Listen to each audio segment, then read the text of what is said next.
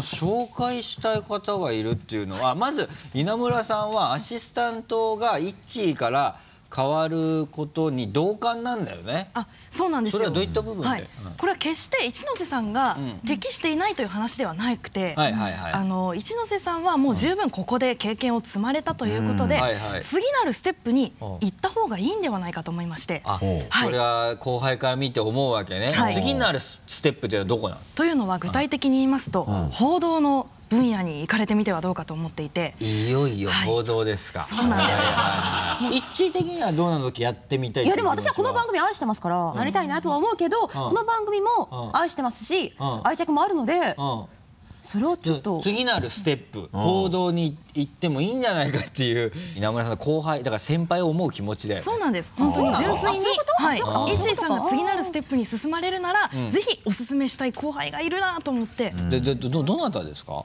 私の一つ下の後輩なんですが、あ一年下。はい。はいはいはい可愛いんですよね。はいはい。じゃあ呼びますね。はいはいはい。急がい。おいで。そのペット呼ぶんだはいはいはい磯貝さんね。一年後輩なんだ。そうなんです。もう可愛くて可愛くはいはい。て、ええぜひもうこの番組に進めたいと思って、可愛がってる、はい、そうなんですよ。あれ磯貝さんは、あのどういう番組を担当してるんですか、今は、はい。えー朝と夜の定時のニュースと、はいはい。あとはキャッチでリポーターを。いやしています。ゴリゴリ報道じゃない？そしたら磯貝さんの撮影まあで朝と。も、うちの若手のアナウンサーはニュースからやっぱりデビューするので、はいはいはい。最初は報道色が強いのがまあ誰でも同じなんですよあね。なんでそんなおすすめちょっとおすすめポイント教えてよ、ぜひプレゼンさせてください。うん、なんか持フリップってきたの？をですね作ってまいりました。どういう人なの稲村さんは。ノーマルな何そのフリップ。はい。一のせ磯貝って書いてあるんじゃない？の、5つのポイントでこの2人をちょっと何比べるではないですけれども比はいはいはい。較してご紹介してまいりたいと思っています。うん。まずは一ノ瀬さんから。はい。年齢を参ります。32歳。32歳です、まあ働き盛りです。もう、まあ、ニュースも読まれていますし、はい。バラエティでも十分経験を積まれて、はい。さらなるステップに行く段階というそうね。はい、うん32歳といったらそういう年齢になってくると思っています。ねしっかり考える何ですか？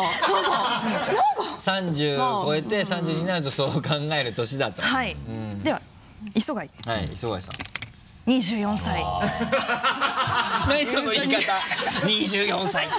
ビチビチですよ。まあね、はい、うん。フレッシュ、はいはいもう言うならば、真っ白なキャンパスに好きな絵をいくらでも描けるという、そんな状態、いや24歳。確かにそう。なるへそ磯貝さんもこれからね自分がどういう方向に行くのかだよね、どんどん経験していってもらいたい年齢。続いては出身校、はい。まず一ノ瀬さんから参ります、まあこちら横浜国立大学という、はい。まあ有名な国立大学出身ということで、一方磯貝はと言いますと、え？あら。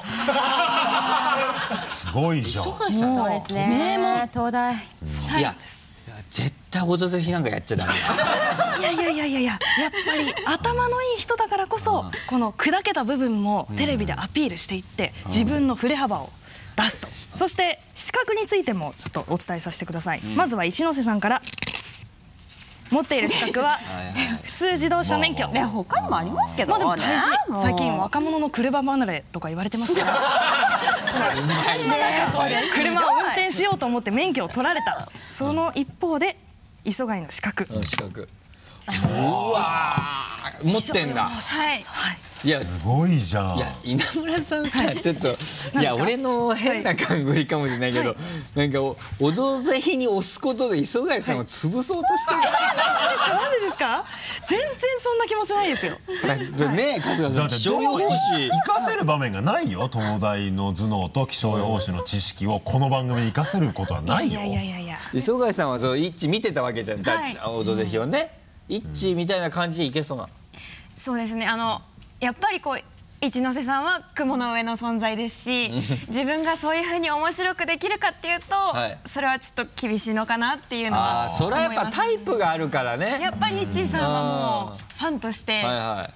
これでも春日さんどう、この未来のある磯貝さんをね「オドぜひ」のまあだからまあ確かにね、そのこの番組向きじゃない向きというかねこの番組じゃない方がいいとは思うけど、そのどれぐらいできるのかっていうのはちょっと見す見たいっていう気持ちあるよね。磯磯貝さん貝もいろいろできることあるんですよあそうだ。こあの多分ねこっちだと思う。だから、イッチーがもしその報道行くにしても磯貝さんが俺はねね笠原さん報道の方がいいよね、いやいいと思うよそれはもちろん活かせると思うよ。ニュースを読むのがはい。どっちが上手なのっていうところなのよ。おー稲村さんどっちが上手だと思うニュース？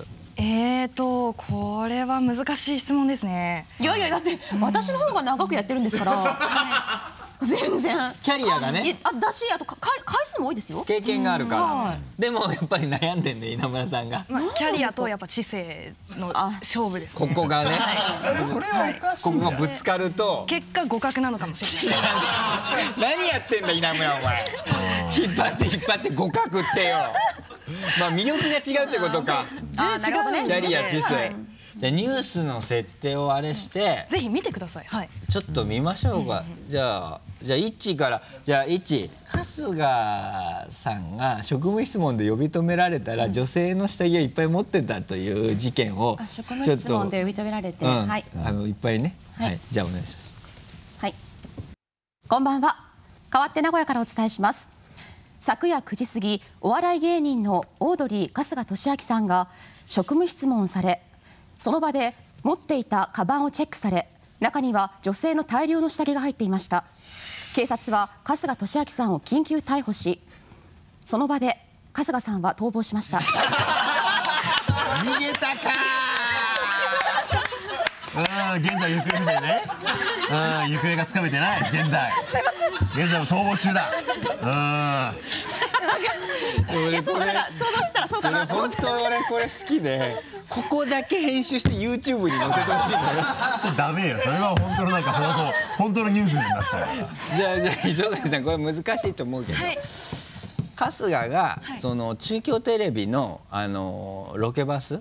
あロロケバスをそのまま盗んで、もう走り去っちゃったら、あの警察に止められて逮捕されたと。はい。こんばんは。代わって名古屋からお伝えします。今日未明、お笑い芸人オードリーの春日俊明さんが中京テレビのロケバスを運転していたとして警察に現行犯逮捕されました。春日さんは番組の企画だと思っていたので問題はないと考えていると話している。わ免れようとしてるじゃん。